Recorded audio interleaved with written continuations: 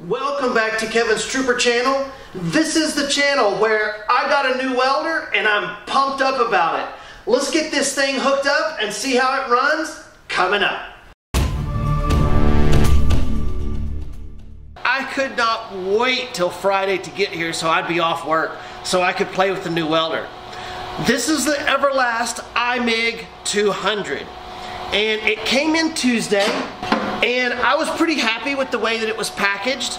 Uh, the only thing that was a little iffy was the accessory box didn't have any kind of padding or anything. All the accessories were just kind of thrown in there. Nothing was damaged though, but that could have been packaged just a little bit better. And then uh, that afternoon, I went to hook the welder up. So you can see I've put this rubber hose here so whenever I lower this, it'll have something to rest on. Now, Everlast does a little bit different technique whenever it comes to their wire size on, on, their roller.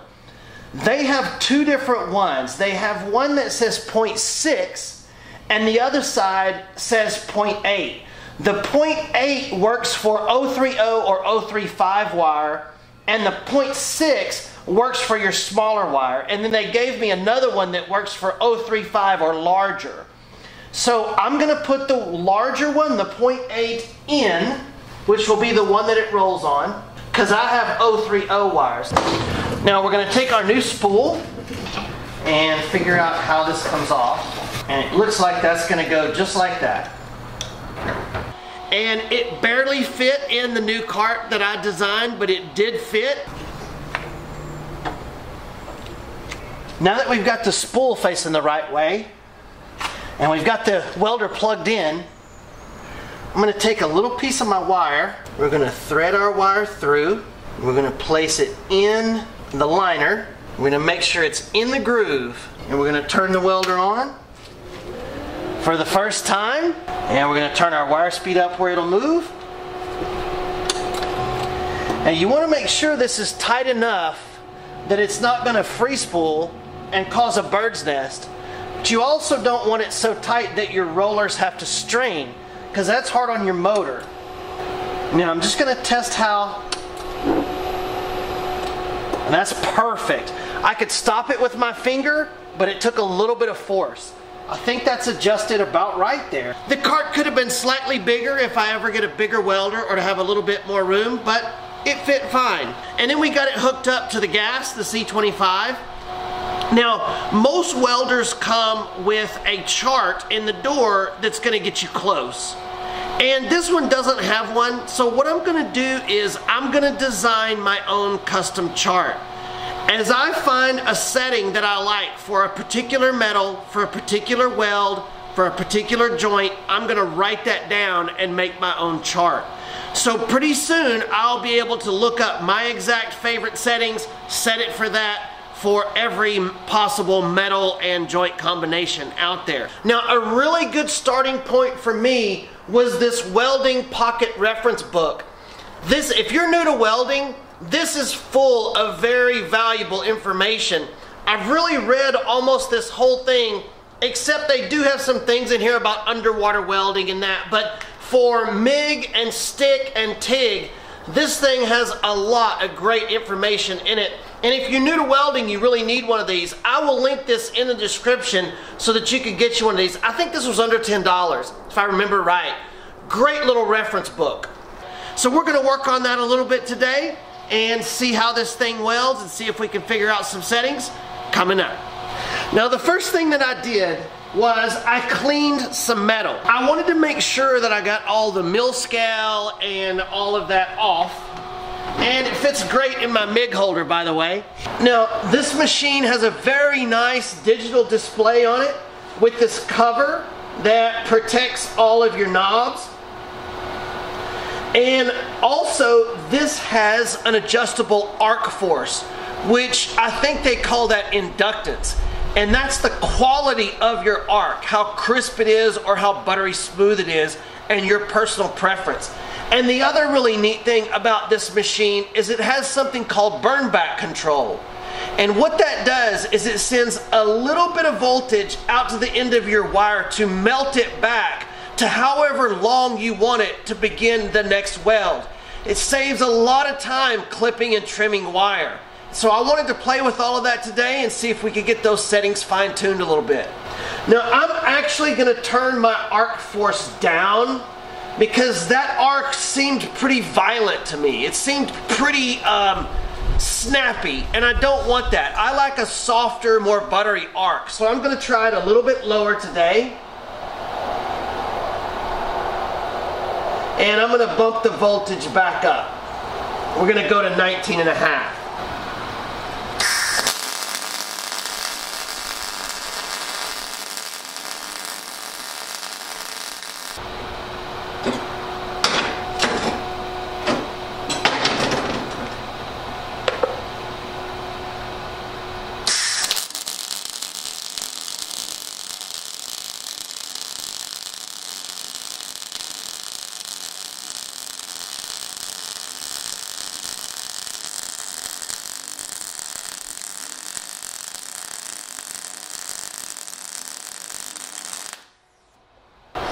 That turned out to be a pretty decent weld right there.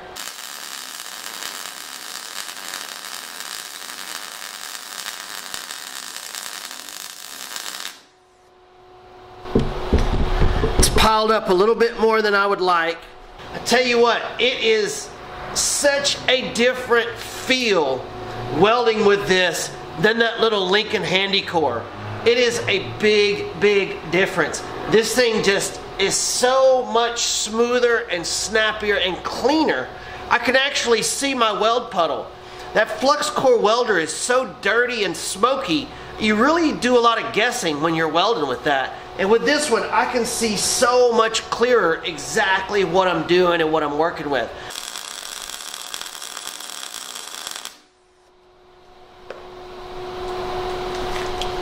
Man, I love this new helmet. I had a situation happen to me the other night.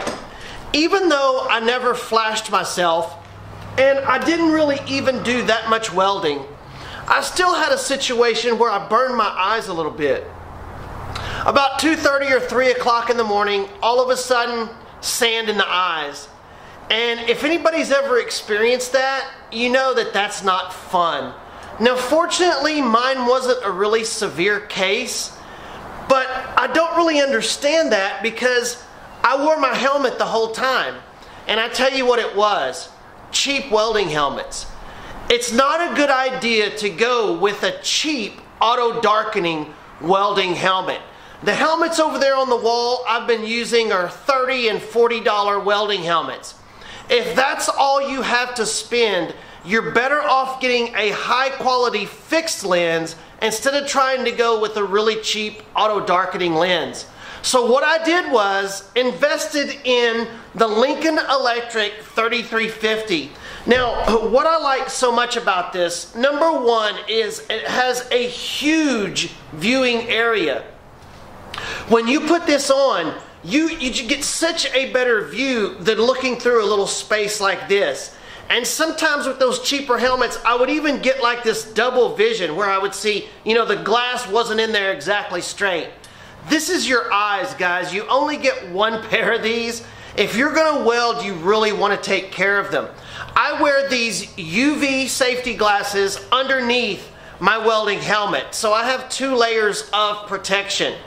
But this is the highest quality optical glass that you can get in a welding helmet. It's like having a pair of sunglasses on. It is amazing. And the other thing is you have all of these adjustments in the headpiece to where you can get it to fit you just right. And the other really cool thing that I like about this is it has a little lock on it. So as I go to push this up, it has a little notch that locks in place. And so you don't have to sit there and try to, you know, break your neck to try to get the helmet to come down. It's just one little nod and then you're welding.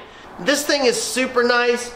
And yes, it was a bit of an investment, but so are these. Listen, I researched welding helmets for a long time, weeks. I looked at all of the higher quality ones, and this is one of the less expensive of that upper echelon of welding helmets. This was about 50 to $60 cheaper than any of the other ones, and it has a higher quality glass and a larger view area. It's not quite as expensive and you get a whole lot of bang for your buck. Now, yes, it doesn't have all those decorations all over it, but they did send it with a package of stickers. I could put stickers all over it if I wanted. I'm not out to impress anybody. I'm out to save my eyes. And this Lincoln 3350 is a really good choice to do that. I have been so impressed by it so far, and I'm really, really glad to have it.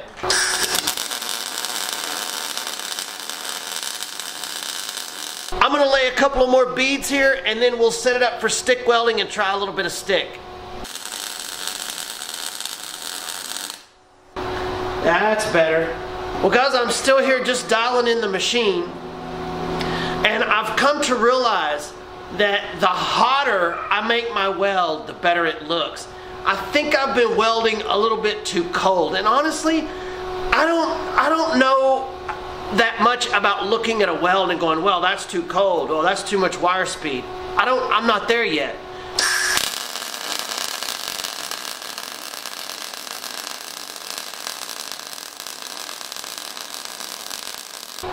I want to make beads like Fifth Street Fab so bad.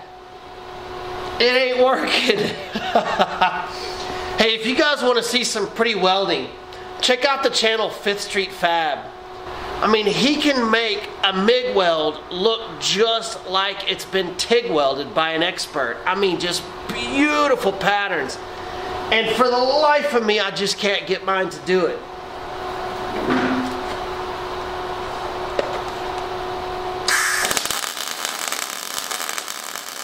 All right, we're getting it dialed in, guys. Let's do some stick welding. I haven't done stick welding since high school, since FFA in high school. That's going way back. You know, when I first started uh, welding with this, the, the arc was real harsh.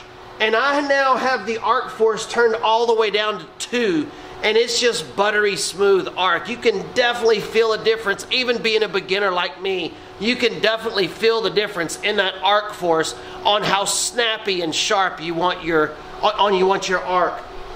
So yeah, let's do some stick welding. And the neat thing about the stick welding is I don't have to remove the MIG gun. I don't have to take my wire out. All I have to do is just plug my stinger into the positive there, throw an electrode in, switch it to stick, and we're stick welding. And both of these 7018s and 6011s are both DC electro positive. So I'm gonna leave the welder exactly where it's at.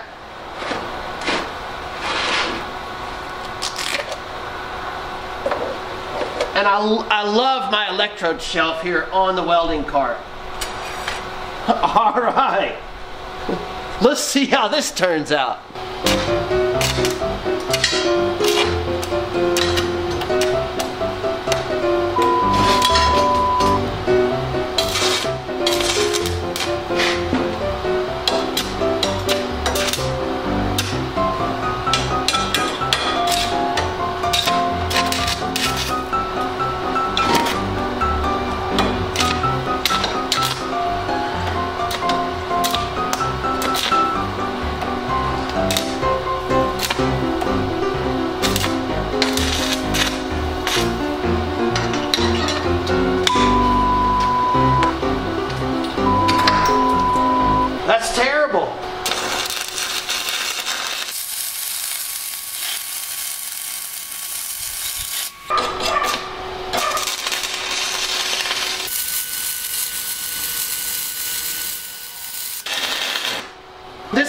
60 11, so I'm doing a little whip and pause. I guess you could call that. I've been shopping for a new pair of welding gloves and I settled on these. These things, I'm so glad I did. They're the Olson. They are amazing. And these are $18. I mean, I can feel every little thing that goes on in these where those big old Lincolns that I had, I couldn't hardly feel anything with them, and they were a lot more expensive than these. So I'm real happy with this little $18 pair of welding gloves.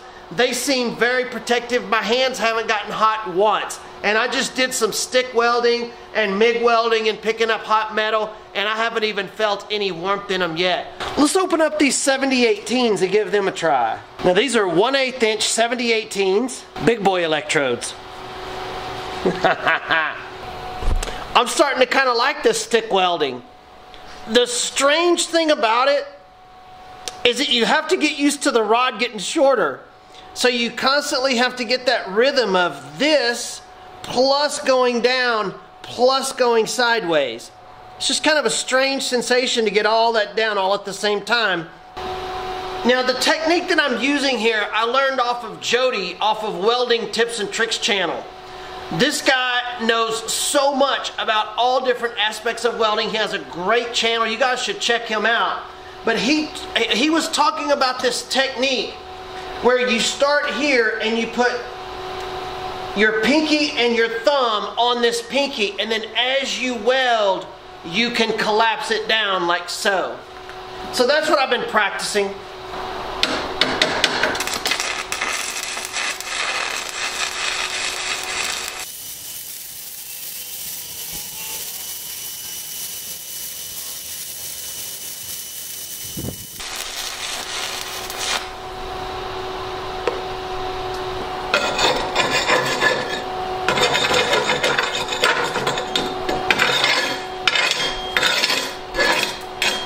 Look at that.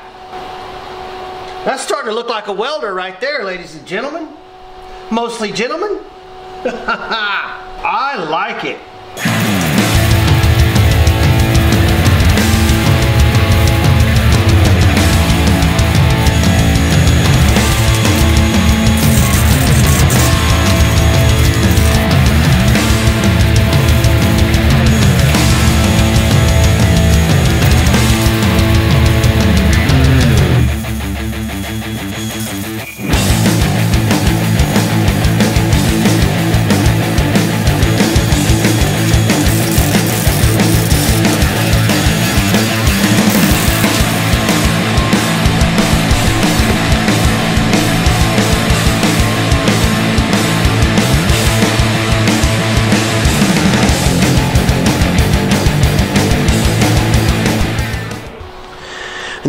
What you would call a modern art disaster piece.